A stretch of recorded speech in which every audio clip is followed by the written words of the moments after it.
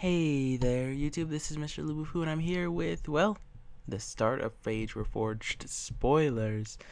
Um, so every year during the uh, holiday season, Wizards of the Coast releases typically a, a pretty nice spoiler. Last year was Kiora the Crashing Wave, and this year we get this big fella, Ugin the Spirit Dragon. 8 colorless dragon, 7 loyalty, plus 2 deals 3 damage to target creature or player, aka Ghostfire. Minus X, exile each permanent with converted mana cost X or less, that's 1 or more colors. And minus 10, you gain 7 life, draw 7 cards, then put up to 7 permanent cards from your hand onto the battlefield. Um, I personally love these super expensive uh,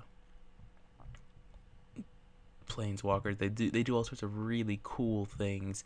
What I like about Ugin, apart from the flavor of plus two being Ghost Fire, which is what he's famous for, it's if you play him and then Nicol Bolas, he wins. But if you play Nicol Bolas and then him, Nicol Bolas wins.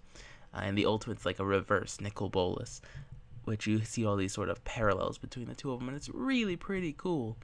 Um, I personally am excited. I'm not sure how feasible he'll be in standard play. I certainly think EDH will be good. A lot of people are clamoring he might be good in Tron. I do think the fact that you can get Karn on turn 3 instead of turn 4 makes him slightly better. Uh, but this is still, he's a beast. I just want to play with him. I think everybody else does too. But this year, Wizards also did a double spoiler.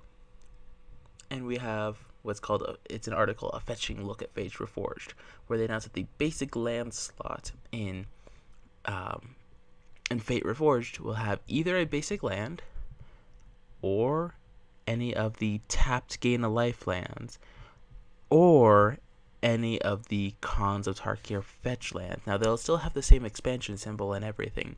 So this is much like what they did in Dragon's Maze with the shock lands, so, more fetches will be printed. Yay! Everything is awesome. Also, I can't sing.